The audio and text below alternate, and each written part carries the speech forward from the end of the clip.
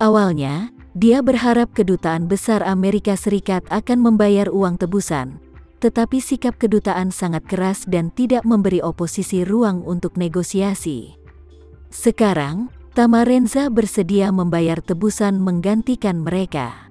Dia merasa bahwa begitu tuntutan inti oposisi dipenuhi, mereka secara alami akan menghormati janji mereka. Jadi, dia berkata kepada Tama Renza penuh terima kasih, Tama, semuanya terserah kamu. Tama Renza tersenyum sedikit dan berkata, Paman, jangan khawatir, pesawat akan lepas landas, jadi aku tidak akan memberitahumu lagi. Erik buru-buru berkata, Nak, paman itu menunggumu pulang dengan selamat. Setelah menutup telepon, Tama Renza sudah duduk di Concord.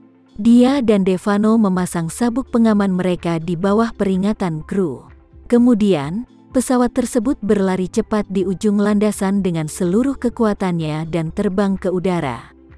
Fitur terbesar dari pesawat Concorde adalah ia terbang dengan cepat dan tinggi, dan ketinggian jelajahnya telah mencapai 18.000 meter yang menakjubkan. Setelah pesawat naik ke ketinggian yang telah ditentukan dalam satu tarikan napas, ia mulai memasuki pelayaran supersonik. Tama Renza telah berbaring bersandar di kursi kelas 1 yang nyaman dengan mata tertutup dan istirahat. Devano di samping tampak sedikit bersemangat. Sambil memegang ponsel dan menggunakan jaringan satelit yang mahal untuk berkomunikasi dengan orang lain, dia memegang pena, terus-menerus menulis dan menggambar di buku kecil itu. Di tengah perjalanan, Tama Renza membuka matanya, menatapnya, dan bertanya dengan rasa ingin tahu, Tuan Devano, apa yang kamu lukis di sana? Devano buru-buru berkata, Tuan muda, Tuan memberiku informasi kontak dari rekan Lebanon. Aku berkomunikasi dengan pihak lain dan mempelajari beberapa informasi yang lebih spesifik. Sekarang aku sedang memilah sumber daya yang perlu kami gunakan. Tama Renza bertanya padanya, apakah ada informasi spesifik baru? Devano berkata, ya, posisi garnisun oposisi telah ditentukan. Letaknya di kota pegunungan kecil 80 km di utara ibu kota Suriah. Sang master telah membuka perbatasan antara kedua negara. Sesampainya di Lebanon, kita bisa langsung diantar ke lokasi oposisi dengan helikopter. Setelah berbicara, dia berkata lagi, Tuan Muda, kekuatan militer oposisi masih sangat kuat. Menurut informasi yang diterima oleh militer Suriah, mereka telah menempatkan setidaknya 2.000 tentara di posisi ini. Setiap prajurit dilengkapi dengan senjata otomatis. Itu juga dilengkapi dengan lebih dari selusin tank dan kendaraan lapis baja dan empat helikopter bersenjata. Jika kita pergi dengan helikopter, Pihak lain mungkin akan mengirim helikopter bersenjata langsung untuk menyerang kita. Saya khawatir akan sulit untuk mendekat. Tamarenza merenung sejenak dan kemudian berkata, kalau begitu, biarkan kontakmu menyiapkan pesawat sayap tetap di Lebanon. Pesawat akan membawa aku ke langit di atas tujuan, dan aku akan terjun payung sendiri. Devano berseru dan bertanya, Tuan, kamu ingin pergi sendiri? Tama Renza tersenyum dan berkata, tentu saja, mungkinkah kita berdua pergi bersama? Devano buru-buru berkata, Tuan, yang aku maksud adalah, sebaiknya kita memobilisasi sekelompok bantuan luar negeri di Lebanon. Aku telah meminta orang yang merapat untuk menghubungi sumber daya tentara bayaran di Lebanon, dan aku menghubungi tentara bayaran sebanyak mungkin. Tama Renza melambaikan tangannya, lawan memiliki 2000 tentara dan senjata berat. Ini pada dasarnya adalah konfigurasi resimen. Dalam hal ini, tidak masuk akal bagi kami untuk menemukan tentara bayaran. Jika kamu ingin melawan mereka, setidaknya kamu harus memiliki ribuan tentara bayaran yang dilengkapi dengan baik, belum lagi karena lawan ditempatkan di kota kecil, dia harus memiliki basis massa yang kuat di daerah setempat. Menambahkan ribuan milisi dengan peluru tajam, aku percaya bahwa alasan mengapa pasukan pemerintah gagal adalah karena mereka meremehkan kekuatan militer dan potensi tempur mereka. Dan jangan lupa, Tujuan kunjungan kita kali ini adalah untuk menyelamatkan orang, bukan untuk melenyapkan oposisi bagi pasukan pemerintah Suriah. Jika kita benar-benar membawa seribu tentara bayaran untuk diperebutkan, kelompok orang ini mungkin tidak akan mati. Bunuh semua sandera itu, bahkan jika mereka semua musnah, apa yang bisa kita lakukan? Ketika Devano mendengar ini, dia tidak bisa menahan diri untuk bertanya, Tuan, jika kamu menyelinap sendiri, bukankah itu lebih berbahaya? Juga, bahkan jika kamu bisa menyelinap masuk, bagaimana kamu bisa menyelamatkan orang dan keluar dengan selamat?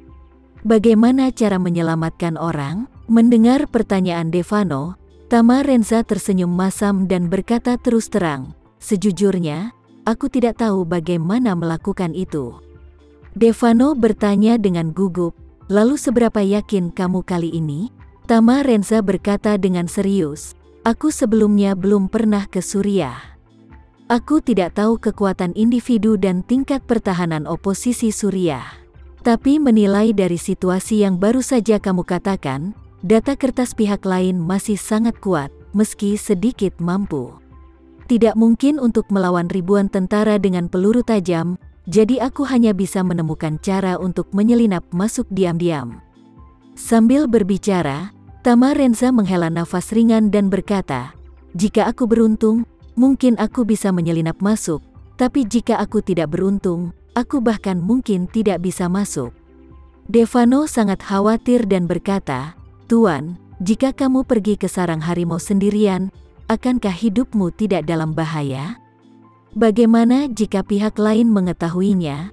Tamarenza melambaikan tangannya dan berkata, Aku masih memiliki kemampuan dan kepercayaan diri untuk melindungi diriku sendiri, tetapi sulit untuk mengatakan apakah aku dapat menyelamatkan orang dengan lancar.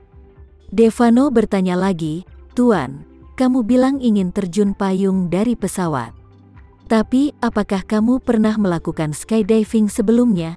Tamarenza menggelengkan kepalanya dan berkata, Tidak, aku memiliki masalah makanan dan pakaian selama ini, jadi bagaimana aku bisa mengalami terjun payung?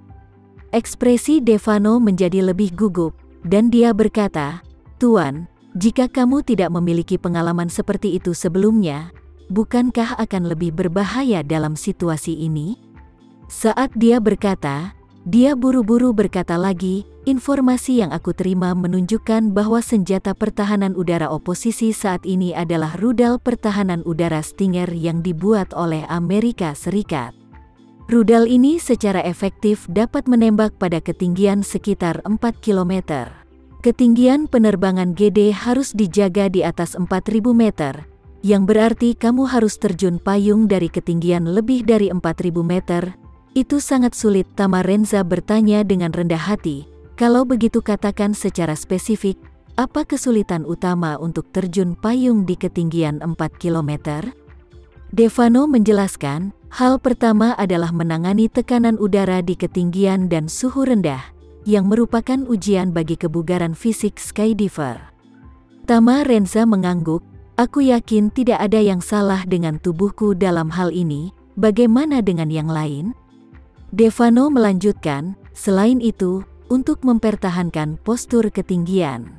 Kamu harus memastikan bahwa kecepatan turunmu sedang, tidak terlalu lambat, apalagi terlalu cepat. Ini mengharuskan kamu untuk menggunakan tubuhmu secara wajar dan terus-menerus menyesuaikan hambatan udara dan posturmu, mengangguk dan berkata, kedengarannya seharusnya tidak sulit, apakah masih ada? Devano menambahkan, yang lainnya adalah kontrol waktu pembukaan parasut, dan kontrol parasut setelah membukanya. Saat kamu melompat dari ketinggian lebih dari 4000 meter. Sekian dulu ya video kali ini, kita lanjutkan lagi videonya di lain waktu. Oh iya, bagaimana menurut kalian? Semoga bisa sedikit menghibur kalian semua. Untuk teman-teman yang baru nonton jangan lupa subscribe ya hehehe. Dan kalau teman-teman ada yang ingin gabung langganan bisa langsung gabung saja untuk dapat fitur yang menarik dan sedikit membantu Mimin. Terima kasih banyak sudah menonton sampai jumpa lagi bye bye bye.